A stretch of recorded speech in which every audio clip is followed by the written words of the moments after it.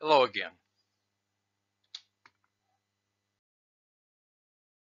This is Math 2233 coming to you from the College DuPage, and this is the second continuation of the lecture introducing partial derivatives. As always, please be an active learner as you watch this video.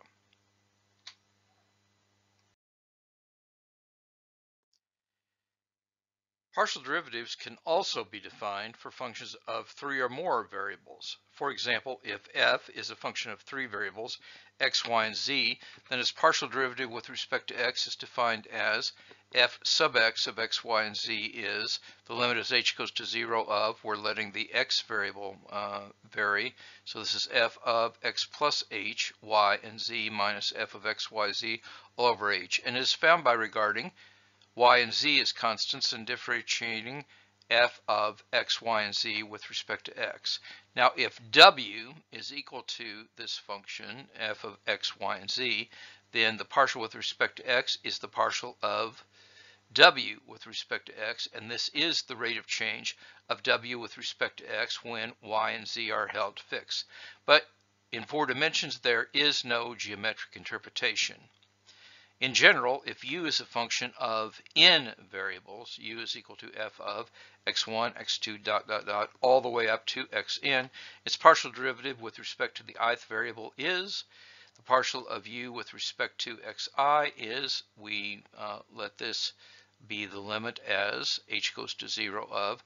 This one is perturbed by h, so the only variable that's changing is x sub i, so this is x sub i plus h minus f of all those variables all over h, and we write uh, this. So this is the partial u with respect to xi. Now, we lose physical interpretation of these things, but these also could have huge applications in business and other kinds of optimization problems. So let's calculate a few of these. So let's find the partial of f with respect to x, the partial of f with respect to y, and the partial of f with respect to z if f of x, y, z is equal to e to the x, y times the ln of z. You know what to do. Let's see how you did.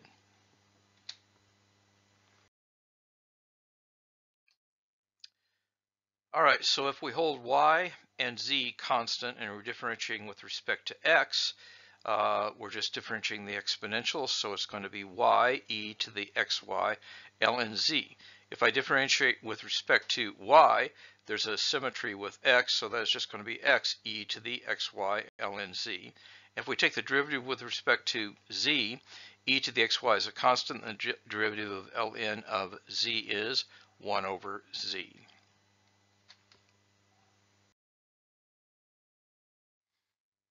We can also take higher order derivatives. So if f, and higher order partial derivatives. So if f is a function of two variables, then its partial derivatives fx and fy are also functions of two variables, and so we consider the partial derivatives of them. So we can take the derivative again with respect to x, the derivative again with respect to y, and the derivative uh, with respect to x of fy and fyy. So these are called the second partial derivatives. So if z is equal to f of xy, these are notations that are used. So fxx means you take the derivatives in these orders. fxy means the derivatives are taken in this order. fyx means it's taken in this order. So you see when we're using this notation, you first take the derivative that is closest there. And fyy uh, is going to be this. Now notice when you talk about what you're taking first, though, that you end up writing it this way and this way, this way, and this way. So you see, whenever we write this, f of xy written this way looks like the second partial of uh, f, and then it, the y comes first and the x happens there. So thus the notation fxy, or this, means we first differentiate with respect to x, and then with respect to y. Whereas in computing fyx, the order is reversed in both cases. Let's do another problem. Find the second partial derivatives, and there are uh, several of them, fxx, fxy, fyx, and fyy of this polynomial.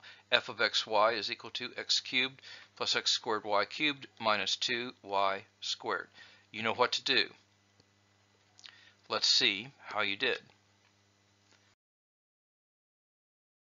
Okay, so fxx is going to be 6x plus 2y cubed. Fxy is going to be 6xy squared. fyx is going to be 6xy squared, and fyy is 6x squared y minus 4. Now notice that fxy is the same thing as fyx.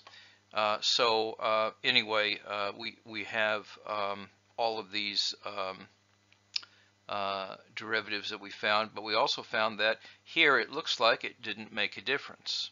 Let's talk about that a bit. And so notice that that was true. That's not a coincidence. It turned out the mixed partials fxy and fyx are equal for most functions that one meets in practice. If the second partial derivatives are continuous functions, that is true. The following theorem, was just discovered by the French mathematician uh, Clairaut, uh, gives conditions under which we can assert that this is true, and we're going to look at the proof of this in just a minute.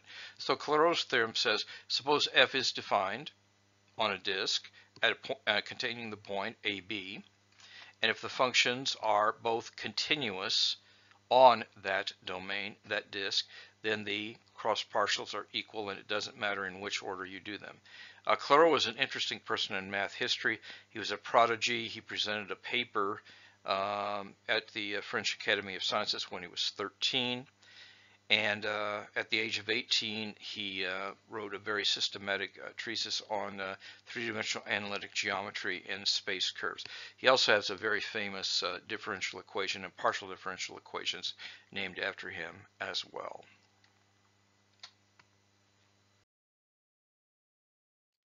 Let's look at the proof of that. Okay, so for small values of h, we can look at this difference.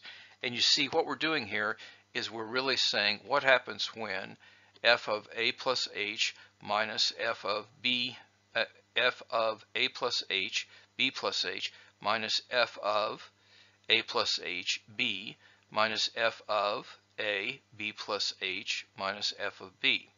Now when you uh, look at this, uh, uh what's going to happen is that if we let g of x be f of x b plus h minus f of xb. Now those are the terms here uh, where we have, um, uh, you know, x is x is really the first variable, and the other one you just have it going this way.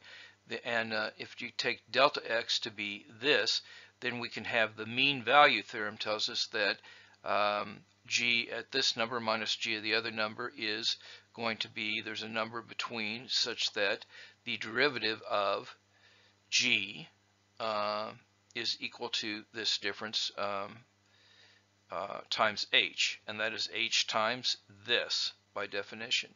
Now, if we did the same thing, applying the mean value theorem again, this time to f of x, we could find a number d between b and b plus h such that f of x uh, of this is equal to this difference is equal to now this is the partial uh, fxy of cd times h. So if we combine those equations, we find out that delta of h, the thing we have, is equal to h squared f of x y cd. And as h goes to 0, CD approaches AB. So the continuity tells us that the limit as h goes to 0 of this is equal to f of xyab.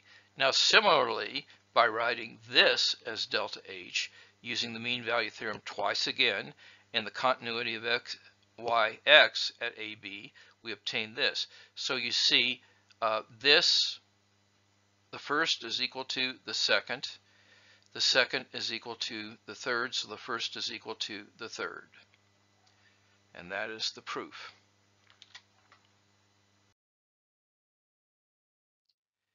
We can also talk about partial derivatives of even a higher order of 3 or higher can be defined. So for example, this f sub x y y is fxy times y and is equal to this. And this means that you do the uh, x first, then you do y twice. So by using Clairaut's theorem, uh, that this is that the order doesn't matter as long as all these functions are continuous. And even though there are anomalies, nature is usually continuous. So let's do one of these higher order derivatives. So calculate f x x y z if f of x y z is equal to the sine of 3x plus yz. This is the argument here. You know what to do. Let's see how you did.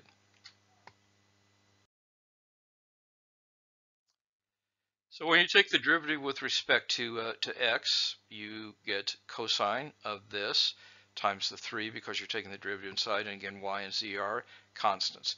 fxx then is going to be, you're taking the derivative with respect to x again, and you're going to uh, get minus sine, and another 3 points out, pops out, so you get that.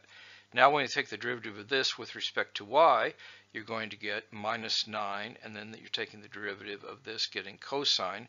But now uh, what you're going to have is there's a z pops out because you're taking the derivative using the chain rule with respect to y. And last but not least, when you take the derivative with respect to z, uh, you're going to get, um, uh, and it is going to be a product rule now, so it is going to be minus 9, that's the derivative of the first, times the second plus 9z times the derivative of the second, which is going to be, um, and, and that is going to be the derivative of the cosine is minus sine, and we get 9yz sine 3x plus yz. Make sure that you can do these calculations.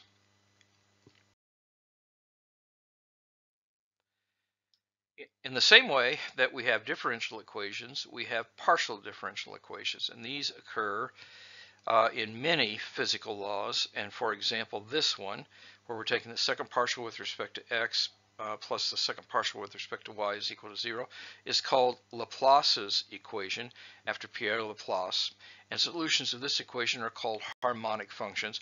And there's a whole field of mathematics called harmonic analysis.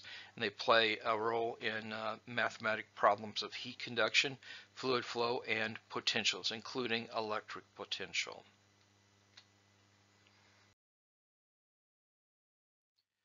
So uh, let's uh, show that this function u of xy is e to the x sine y is a solution of Laplace's equation.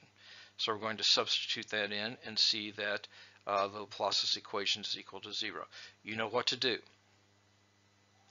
Let's see how you did.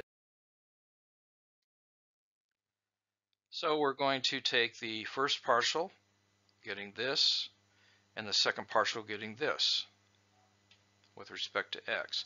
First partial with respect to y gives this. The second partial with respect to y gives this. If you add those two together, you get 0. Therefore, u does satisfy Laplace's equation. And this is an important thing. Now, we just showed that this was the case. Use a technique called, for partial differential equations, separation of variables uh, in order to solve this. Another very important uh, equation of mathematical physics is called the wave equation. This is the one-dimensional wave equation, and you say the second partial of u with respect to t is equal to alpha squared, or a squared, I guess, and then this is the partial of u with respect to uh, x, and this is the second partial of u with respect to x. And this ends up being the Laplacian in three dimensions, um, and um, this describes the motion of a waveform.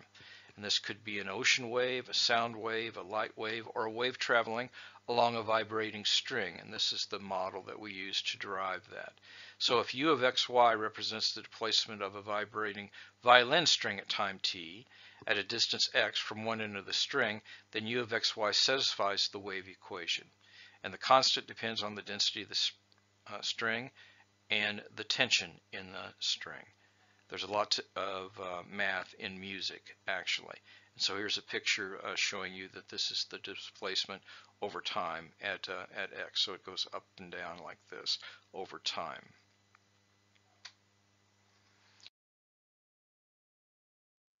So as an exercise, let's verify that the function u of xt equals sine of x minus at satisfies the wave equation. You know what to do. Let's see how you did. So when you take the first partial with respect to x, uh, what happens is you just get the cosine of x minus at. When you take the partial with respect to x again, you get uxx is equal to minus sine x minus at.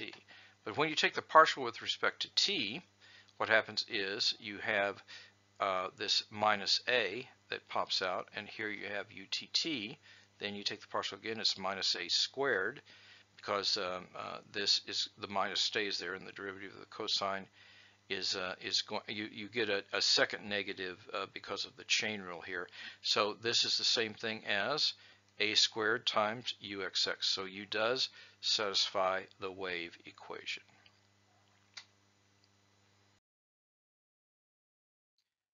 Uh, and partial uh, differential equations involving functions of three variables are very important because this is in space.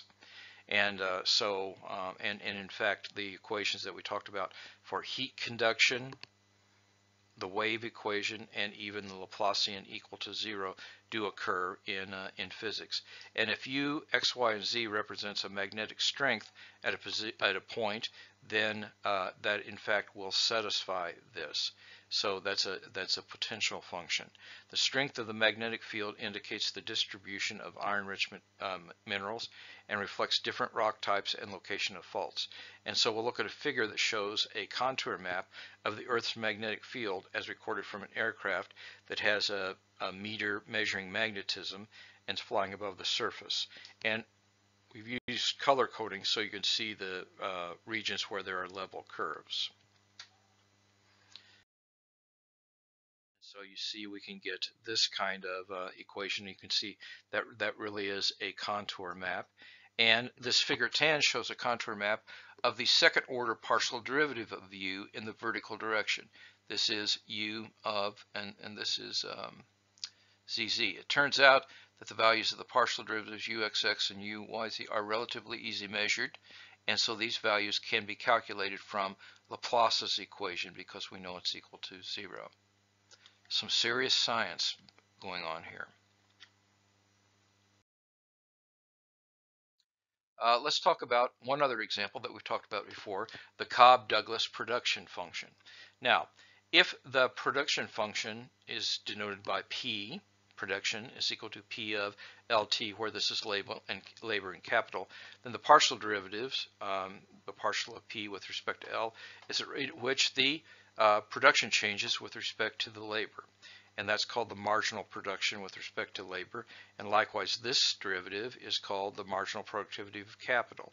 Now, uh, we make some assumptions that Cobb and Douglas made in their study. So uh, if either of these vanishes, then so will production. So, uh, so we, we cannot have, um, these things are always uh, bigger than zero and the marginal productivity of labor is proportional to the amount of production per unit time of labor, and the marginal productivity of capital similarly is production to uh, is proportional to the amount of production per unit of capital. So that means this is true because this is the production per capital. And if we keep k constant, that is k is equal to some constant, then this can be solved by separation of variables. Uh, and we are solving this ordinary differential equation. So if we use separation of variables solving this, we get that P of L, and this is at K0, is just L raised to some power alpha. And the constant that is here is a function of K0. And we've written that because uh, we know that this could be, this constant, uh, it was a partial derivative, so this constant could be a function of k. So it really depends on the value of k0. Similarly, the other one, says we have this and we can solve that and that says this is C2 L0 and this is K beta. Alpha and beta do not have to be the same number. So if we compare those two equations, we see that P is equal to this for some values of um, uh, B, uh, alpha, and beta. Now, if Labor and capital are both increased by a factor of m, and we want to include the assumption that if they're both increased by a factor of m, we'll produce, improve the production by m, you have to have alpha plus beta equals 1. And they made that assumption, and therefore we get this equation. And this is the production function that we talked about in an earlier section. In closing, now more than ever, time is precious. Each day must count. Do the math, it will make you strong. And now more than ever, take care of yourself and of each other. May God bless you all.